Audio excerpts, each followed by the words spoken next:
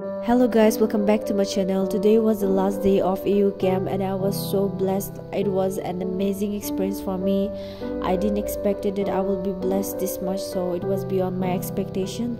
And since i have made so many commitments so many decisions about how to have a personal relationship with god to grow in faith i will try to bring more about a christian content in my this youtube channel. So i hope you will be blessed and you will grow along with me spiritually physically in any in every field. So i hope you will be blessed okay?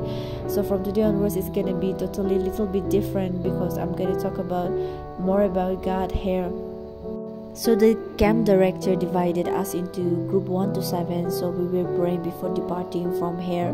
Uh, we all come from different different colleges. So we may meet or may never meet again. That's the saddest part but we pray that we will be a blessing to everyone around us. And that people will come to know more Jesus, uh, more about Jesus through our life as well. So we are praying for that. And this is my two friends, Lika and Bewe. Both of them are in the praise and worship team, so they are like very active in singing, and they used to uh, steer me up spiritually to come more closer to God, to praise and worship God. And I'm so blessed to have them in my life and to make new friends through this camp.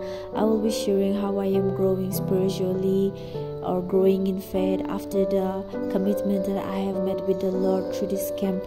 So I hope you will also grow along with me as I show almost every part of how I am struggling or how I am overcoming the temptations or how I am receiving the blessings or enjoying the blessing, how I am producing the fruit of the Spirit. So I hope you will also grow along with me.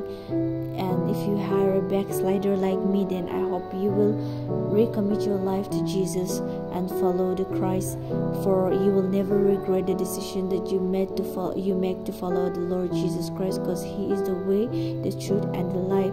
And this is the photo of our group, group number two. We got second, so all glory to God. This is what we got, and this is how we ended our camping, and it was such a blessed one. So thank you so much for watching.